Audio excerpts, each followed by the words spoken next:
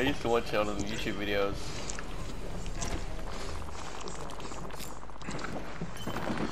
No, no Warframe, bro. Addiction.